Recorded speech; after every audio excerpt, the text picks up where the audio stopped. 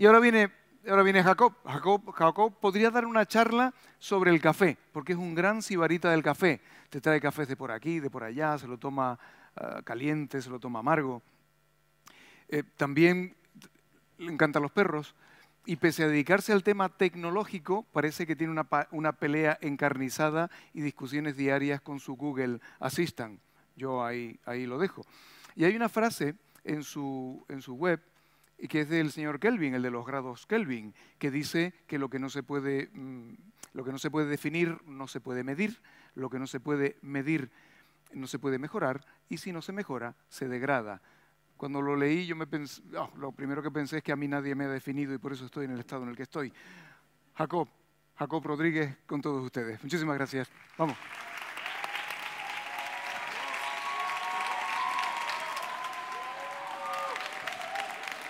Muy buenas tardes a todos. Eh, lo primero de todo, pues eh, como chicharrero que soy, estar aquí encima es un orgullo para mí. Y también saben que este teatro da bastante respeto, ¿vale? Entonces, si ven, me notan nervioso, comprenderán el motivo, ¿vale? No es más que el estar aquí encima. Otra de las cosas que eh, estaba ya prevista es que César Sar me lo voy a poner bastante difícil, ¿vale? Porque él viene, nos cuenta qué tal ha viajado por el mundo y la maravilla que es viajar. El, lado positivo es que me va a poner el listón mucho más alto, ¿vale? Entonces espero yo que les guste mi ponencia, ¿vale? Durante los 10 minutos que va a durar mi intervención, 9 ya por lo que parece, eh, se producen en el mundo 6,9 millones de horas de reproducción de Netflix, ¿vale? Esto quiere decir que es bastante, ¿no? En cambio, en Tinder se producen 14 millones de swaps. No sé si saben lo que son los swaps, son los de deslizamientos. Yo digo, Tinder todo el mundo creo que ya sabe lo que es, básicamente porque alguien se lo ha contado, ¿vale? Nadie sabe lo que es, alguien le ha contado lo que es Tinder, ¿vale? Y en Google se producen 38 millones de búsquedas. 38 millones de búsquedas. Han contado 1, 2, 3, 38 millones. ¿Vale? ¿Qué les quiero transmitir? Les quiero transmitir lo siguiente. Hay una gran cantidad de datos en pocos segundos. ¿Vale? En pocos minutos. Toda esa información está fluyendo, ¿vale? En Internet ahora mismo. En Internet se tiene que almacenar. El, cerebro, eh, los humanos no somos capaces de analizar tanta capacidad. Entonces, para eso utilizamos al final pues, las máquinas, estamos los datos, etcétera, etcétera, etcétera. ¿vale? Entonces, lo que yo le quería transmitir básicamente en mi, en mi sesión es que entiendan cómo nos puede ayudar los datos, ¿vale? En el lado positivo ¿vale? Desde el punto de vista de la empresa y desde el lado positivo, desde el punto de vista de los usuarios, de ustedes, ¿vale? ¿A qué nos ayuda? Vale. Cosa importante, disclaimer, ¿vale? Voy a decir lo bueno que son los datos que la empresa tengan esos datos, ¿vale? Alguien dirá, no, pero las empresas son malas. Bueno, empresas que adquieren los datos de forma legal, ¿vale? Si alguien tiene alguna pregunta sobre ciberseguridad, recuerden que tenemos a un crack que se llama eh, Dahwani, ¿vale? Y ahí le pueden preguntar a él todo lo que quieran. Un, le escriben un Twitter y él directamente en ese tweet le responderá, así yo me quito ese marrón, ¿vale? Bien, entonces, definición rápida, ¿vale? Les, he venido a hablar de analítica, pero empezamos hablando de lo que sería analítica web, ¿vale? La analítica web no es más que el estudio de la actividad en un sitio web a partir de los datos extraídos de la navegación de los usuarios. ¿vale? Básicamente, lo que está pasando en este contexto es que estamos analizando el comportamiento de los usuarios en la web. ¿vale? Algunos miran, Jacob, pero eso de la web ya está un poco pasado. Digo, es cierto, ¿vale? Lo de la web ya está un poco pasado. ¿Por qué? Porque ahora hablamos de analítica digital. ¿Por qué hablamos de analítica digital? Pues principalmente porque ya no solamente hablamos de la web, ahora hablamos de todos los dispositivos que tienen acceso a Internet, ¿vale? Desde un móvil hasta una nevera que ya tiene Internet, ¿vale? ¿Cuál es la, la funcionalidad o la finalidad total de todo esto?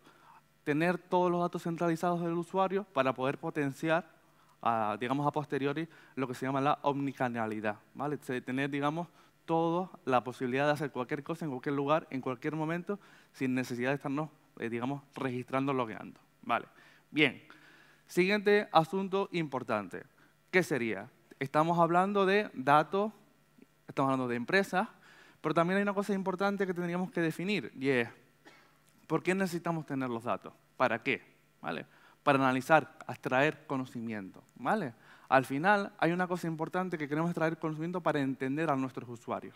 ¿vale? Al final nuestros usuarios son los que nos van a dar la vida. Hay gente que llama a los usuarios los jefes. Los jefes son los que nos determinan lo que vamos a adquirir y a, conseguir, ¿vale? Entonces, un punto de reflexión viene por ese, por ese lugar, ¿vale? Desde el punto de vista de la empresa, ¿vale? Nos va a ayudar a conocer mejor al usuario, ¿vale? En cambio, nosotros como usuarios, ¿qué vamos a adquirir o a qué vamos a recibir a cambio? Pues nos van a hacer la vida mucho más fácil. ¿Cuántos usuarios de aquí son amantes de los iPhone, ¿vale? De Apple, ¿vale? Lo único que hacen, en realidad, es poner las cosas más fáciles, ¿vale? Los frikis, entre comillas, que usamos Android, nos odian un poco, ¿no? Pero bueno, eso es otro punto de vista, ¿no? Una de las cosas también irrelevantes es a la hora del diseño, ¿vale? Una cosa que nos puede ayudar el conocer a los usuarios, espiarlos, investigarlos, es que nos permite a la hora de hacer interfaces de, de, usuario o de diseño, ver qué cosas funcionan y cosas no funcionan. Las cosas que no funcionan las podemos quitar o rediseñar. ¿vale? Una cosa que nos va a ayudar sobre todo a la hora de poder trabajar con los usuarios.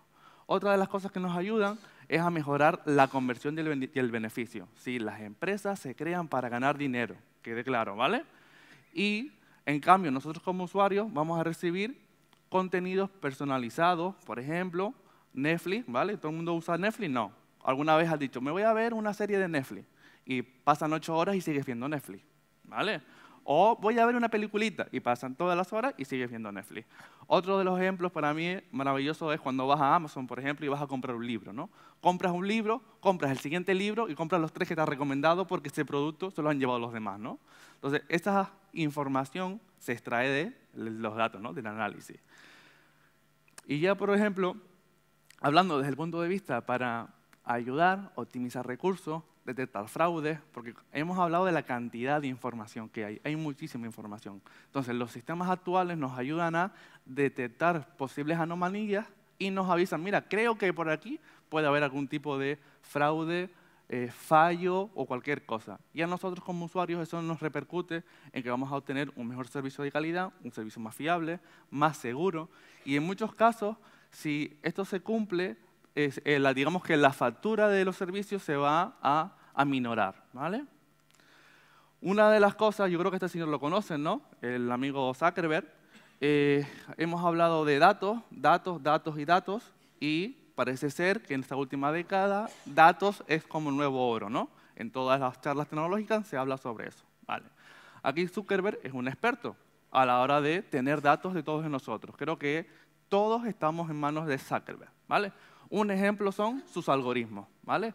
¿Alguien sabe lo que es un algoritmo? Yo creo que más o menos ya van a entender lo que es el algoritmo, ¿no? Un algoritmo no deja de ser una serie de pasos que en función de una entrada da un resultado, ¿vale? Este es, una extracción de cómo funciona actualmente el algoritmo o de Facebook o los algoritmos de Instagram. ¿Qué quiere decir esto? Que estamos controlados por cómo funcionan estos algoritmos. Los algoritmos van evolucionando continuamente. Entonces, al final son los que nos van a determinar. Nosotros, como analistas, tenemos que entender cómo funcionan para poder aprovecharlos. Y esto decide qué publicaciones se ven y qué publicaciones no se ven. No solamente por nosotros como, vamos a decir, usuarios, sino también por la comunidad. ¿vale? Por ejemplo, ¿para qué sirve también la analítica? Para analizar perfiles sociales. ¿vale? Por ejemplo, aquí tenemos una gráfica de seguidores, ¿vale? Nosotros vemos esta gráfica y parece ser que entre, marzo, entre febrero y marzo pasó algo, ¿vale? Algo que puede ser bueno o puede ser malo. Entonces, aquí ya tenemos indicios para empezar a investigar, a ver qué es lo que ha pasado. Yo voy a dejar libre cada uno que investigue lo que pueda hacer, pero puede ser simplemente que una acción de comunicación ha salido bien o alguien se ha aprovechado y ha comprado un par de followers aquí, ¿vale?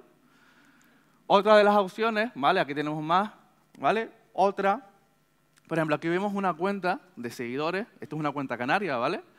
Que eh, un día pierde 400 seguidores, otro día pierde 300 y un día gana 900 y otro día gana 900, ¿vale? Al final es algo sospechoso, ¿no? Pues a nosotros nos da un poco de indicio. Esto viene un poco también a raíz y a colación que la información que está en las redes no siempre es verídica.